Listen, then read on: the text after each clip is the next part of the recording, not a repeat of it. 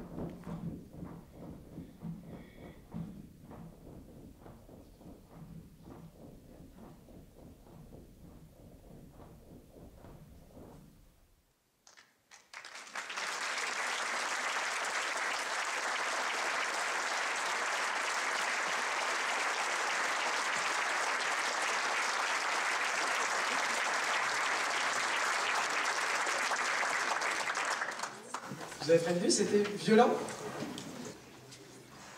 C'était rituel de Marc Stéphane.